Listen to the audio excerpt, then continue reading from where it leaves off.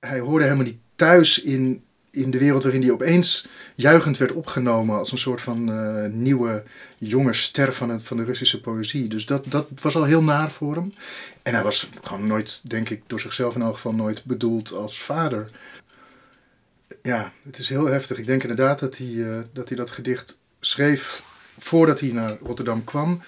Al bijna als een soort van ja, uh, voorbericht of een soort van eerste zachte waarschuwing van ja, het zou wel eens kunnen zijn dat je, dat je in je eentje fantastische kastelen zult moeten gaan maken. Want mogelijk uh, ben ik er straks niet meer bij om dat met je te doen.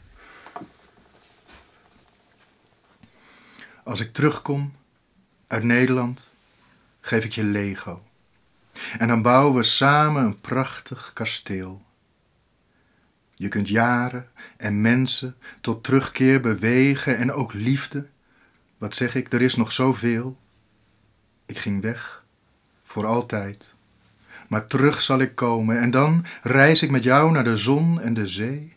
Of we huren gewoon iets goedkoops voor de zomer en we tellen ons geld en misschien valt het mee.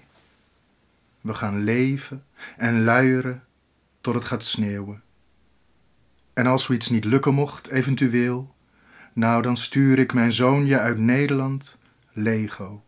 En dan bouw je maar zelf een fantastisch kasteel.